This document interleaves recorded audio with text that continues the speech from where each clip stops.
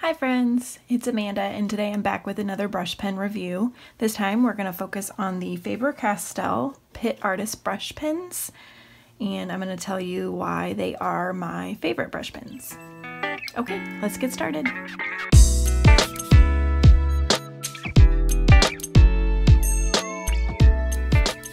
Okay, so the Faber-Castell Pitt Artist pens, which is a mouthful, I know. They come in several different tips of pens, um, but this video is actually going to focus on the brush tip, which is the B on the pen. So if you are familiar with the Faber-Castells, you may notice that they might, they'll have a, um, either a letter or a number at the base, and this is um, the B, so that stands for brush. They also have them on the pen cap as well. Um, now there is a soft brush. Um, I am going to demonstrate that one. Um, and it says SB at the bottom or SB on the um, cap. So those are the two that we're going to be talking about in this video. So these are um, a little bit bigger. The nib is more of a medium sized nib. Let's see if I can focus on here. So it's more medium sized than um, like a Tombow, which is really, really large, or the Tombow Fude, which is really, really small. This one's kind of in the middle.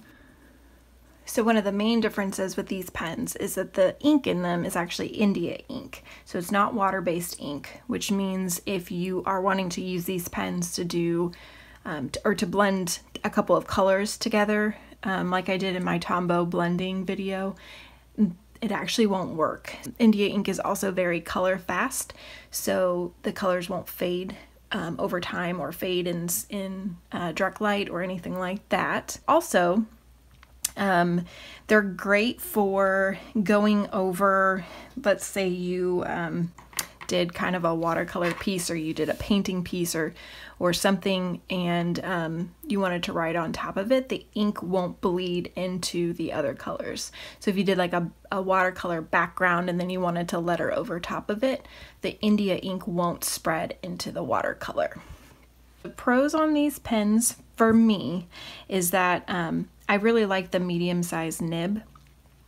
Um, it's a great kind of in the middle. It's not really big like a Tombow, um, but it's also not really small, so I can do normal size work with it.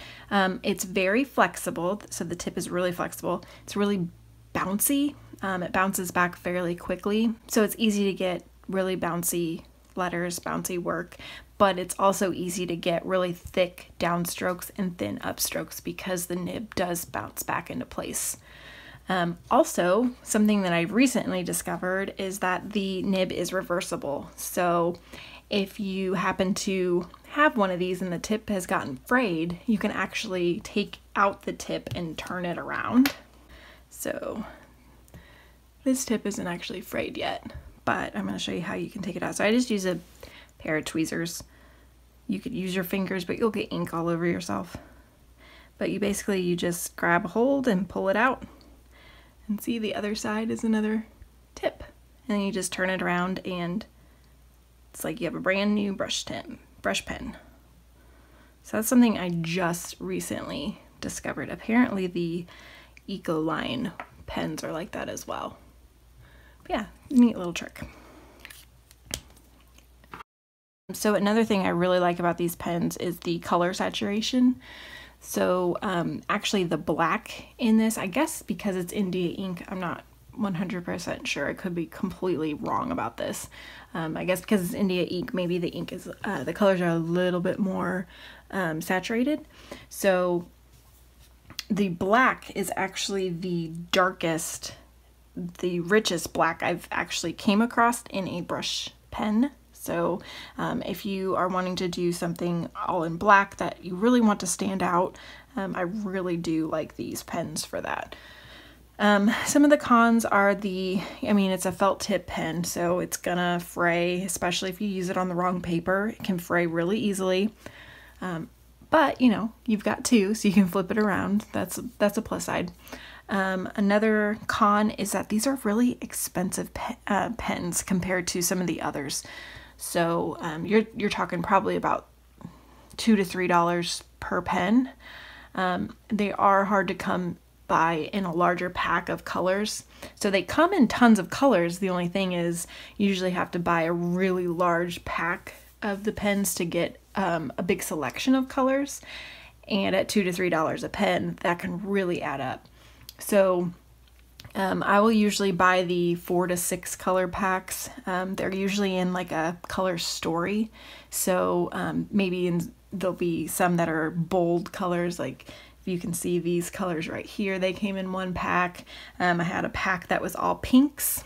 Um, and I just buy them either as they're on sale at Michael's or Hobby Lobby, or if um, there's like a 50% off coupon at Michael's, I'll use that.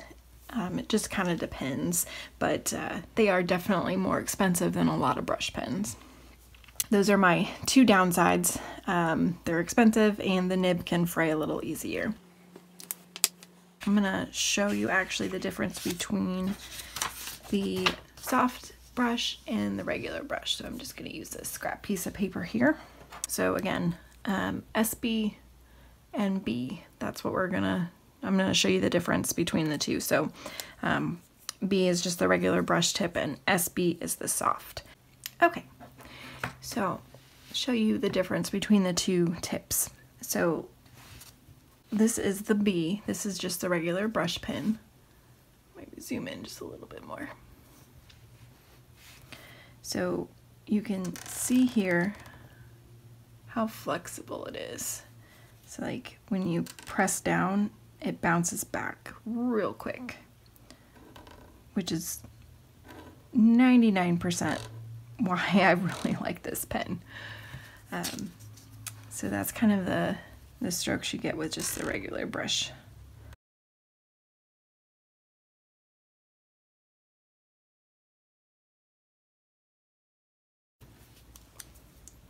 Okay, and then the soft brush it's a little bit longer, the tip is, and the um, regular brush is more of your traditional brush tip. So the soft tip is really flexible.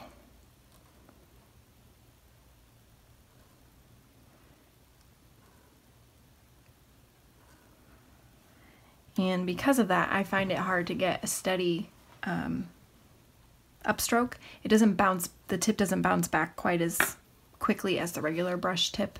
Um, and obviously you, you can get a more dramatic downstroke versus upstroke with it.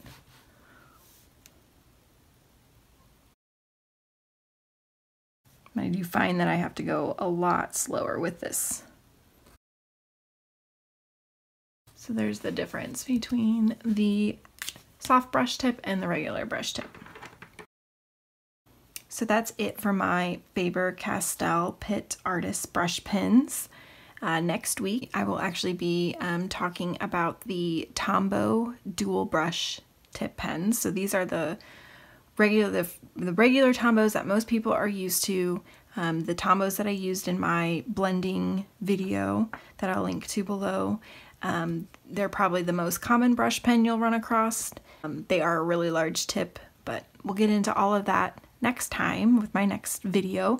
And um, to make sure that you don't miss it, make sure you subscribe below. And if you like this video, share it with your friends, leave me a comment. Um, just let me know that you've watched. Um, and I will see you next time.